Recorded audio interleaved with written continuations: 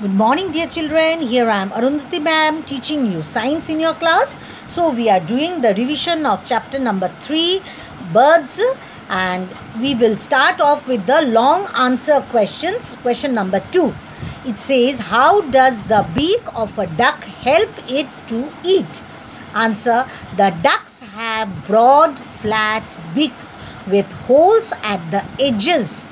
With the beaks, they scoop up the muddy water that has worms, insects, and small plants. The water flows out through the holes, leaving the food inside. So, that is what is the answer of how does a beak of a duck help it to eat. Now, we go on to question number 3, which says, Describe the main types of feathers of a bird. Number different types of feathers of a bird. Birds have three kinds of feathers. They are number A is flight feathers. They are found in the wings and tail of birds. They help the bird to fly and change the direction while flying. Number B is second type the body feathers. They are found over the down feathers all over the body. They are colorful and make the bird's body smooth. Number C says down feathers. They are short, soft and fluffy. They are found next to the skin and keep the bird warm. The newborn birds have only the down feathers. So these are the three types of feathers which we find in a bird. Question 4 says, How does a bird fly? Birds fly by flapping their wings up and down. The flight muscles are strong and powerful, help birds to move wings up and down so that they can fly. The upward movement of wings is the upstroke and downward movement is downstroke.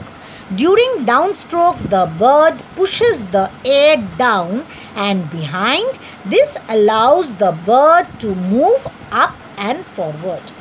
That is question number 4. Now question number 5 says, why do birds build nest? Why do they place soft materials inside? Birds build nests to lay eggs in and to keep their young ones safe.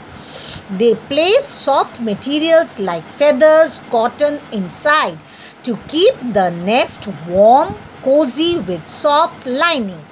Then they lay their eggs inside and sit on them to keep warm.